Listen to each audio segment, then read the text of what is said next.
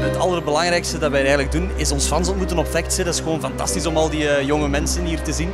En ik vind het ook super tof dat die allemaal verkleed zijn. En als het niet als Vlad, Kelly of Wilco is, zijn ze allemaal verkleed. Het is echt super tof om te zien.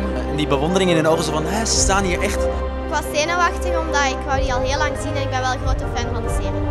Dat is mijn lievelingsserie. Ze zijn altijd vriendelijk voor de kinderen, dus dat is hier echt wel super leuk op Fact. Het was zeker de moeite om zo lang aan te schuiven, absoluut. Dat is voor jong en oud, natuurlijk. Ja, Wilco, hè. Ja, die kan keihard zingen. Is de knapste. Ik ga vannacht van nachtwacht dromen.